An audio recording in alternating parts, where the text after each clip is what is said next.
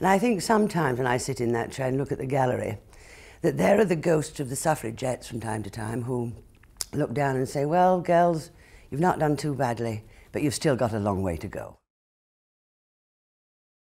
Whenever you're ready. Well, maybe they have to. Yes. Locally, in order to, um, okay, get an extra bit of money for clothing for a holiday. Right. Run the car. So it's not just about the high profile. That's right. Well, I just think so. I mean, everybody talks about high profile women.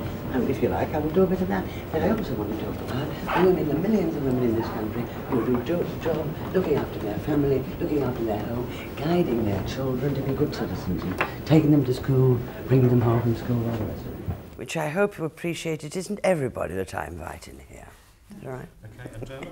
We do appreciate it and we're very privileged and very glad to be here. Makes a change from the formal stuff downstairs, which you always do. Mm. Oh, where are you? Okay, machine time. Okay, right. How long is this going to take, rounded? Um, five minutes. Then I bit know more, what I want to say. Okay. Okay. Well, Madam Speaker, it's International Women's Day tomorrow, the women's debate uh, in the House today.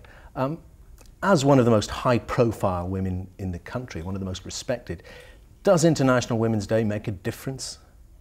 I think it does, and I think it's right that we uh, note it because um, women have made some progress over the years, not nearly enough. Um, there aren't enough women in this house that there should be, although we've now got about 10%. So I want to see more women here. There are occasions when I look down at that house and see the lovely colours, the dresses that the uh, women uh, members of parliament wear, which is quite a difference from the blue, grey blue suits of the men. And I think sometimes when I sit in that chair and look at the gallery, that there are the ghosts of the suffragettes from time to time who look down and say, well, girls, you've not done too badly, but you've still got a long way to go. Well, you mentioned the suffragettes. We're 80 years on, and, and there aren't really that many women in the House still. I- i- Is, this, is that something that Parliament as a whole can address, or is it up to the individual parties with all women shortlists and I things think, like that? I think it is a great. I, I think it's a mixture of both Parliament and the parties. Um, I want to see more women come forward for selection conferences in all, in all the parties. I want Parliament to be able to make um, proper accommodation for women here and for their families. I mean, it is jolly difficult for a woman maybe who represents Scotland or Wales, the north of England, outside London, to have a young family, to leave that family at home. You've either got to have a gem of a granny to leave with them, or you've got to have enough money for a nanny. And we're, we're helping a little bit in that respect. But, you know, for women to do two major jobs isn't easy. From your unique vantage point, though, how would Parliament be different if there were more women here? Would there be less argy-bargy, less confrontation and more real work I done? think there may well be, actually. I find the women here in all parties make a very important contribution.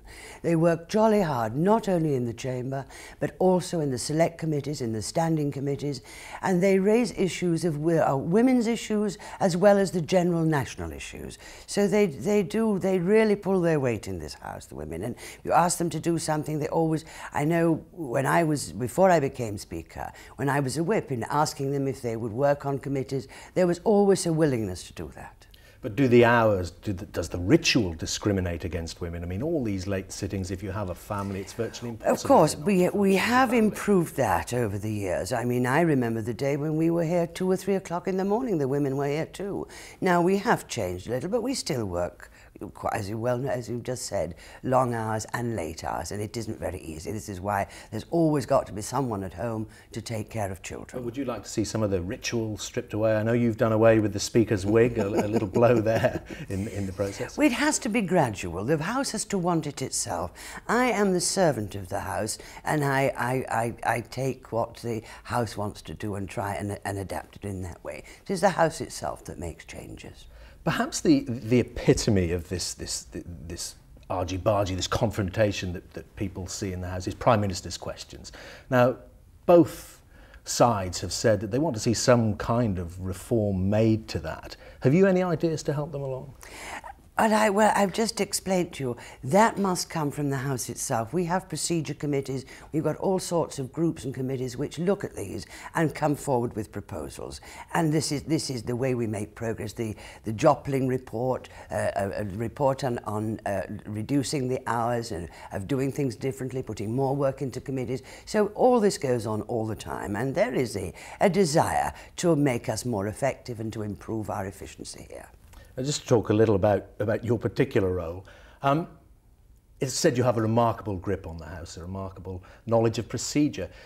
Given that the House is mainly male, a lot of them are ex-public school boys, do you think they respond to a woman in the chair? I don't think it matters whether it's a man or a woman there, actually. Um, I've been likened to a schoolmistress or a nanny. I don't mind what people think of me, providing we get the job done. But you see, this house is a robust house. And it's right to a degree that it should be robust. People here, whether they're male or female, fight very hard to, to work, to, to, to get uh, selected through their own caucuses. They fight the electorate to get elected. elected. When they come here, they want to make changes. It's right that we have this marvellous debate and this, this, this, this argument across the floor of the House. Very few other parliaments, and I've seen many parliaments in the world, have the interventions and the things that we do here. But as you defend those rights of Parliament, every now and again you have to administer oh, some pretty strong slaps. Absolutely, yes. You know, sometimes you give an inch and they take a yard. Um, but you give a little and then you take, you take it back with, with good humour and a smile and it's, uh, it's accepted. But inevitably it leads to, to one side sometimes saying, you know, you're being over-favouring the other. I mean, there, are, to have there that. are accusations at the moment of partiality during the, during the Scott report uh, debate. How do you that. respond to that? I respond to it by referring people like yourself to actually what I said in there, that I said the report should be made available to all opposition parties. I, because I'm very concerned that minority parties here have their rights too. So all you do is just look at what I said carefully there. Madam Speaker, thank you very much indeed. Thank you. Now, I haven't said anything that I wanted to say about women outside this House.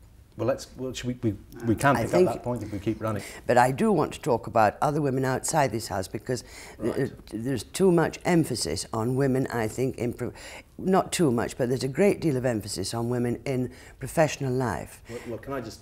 Are we recording this? Let, let, us just compose that. Um, How are you going to start running to that? Okay, camera's running. Is the focus, though, do you think sometimes too much on Parliament? Is there, is there an over obsession, as it were, about getting women into Parliament and it will all be different?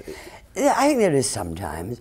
Um, and I think particularly when we're, we're uh, uh, celebrating, if that's the right word, International Women's Day, you know, there are millions and millions of women up and down this country who do a wonderful job in their own home, looking after families, looking after the elderly, looking after their children, taking them to school, collecting them from school, perhaps doing a, a part-time job or a full-time job, as well as running a home.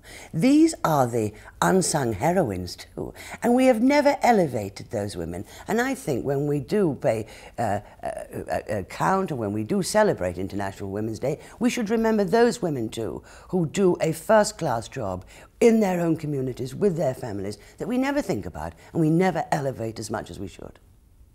Very powerful. Thank you very much indeed, Madam Speaker.